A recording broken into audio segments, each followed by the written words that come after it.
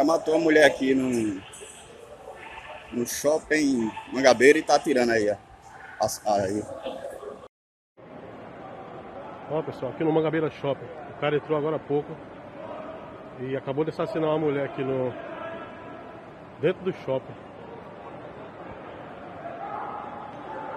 Tá a mulher, o corpo tirando no chão e ele correu pra outra loja.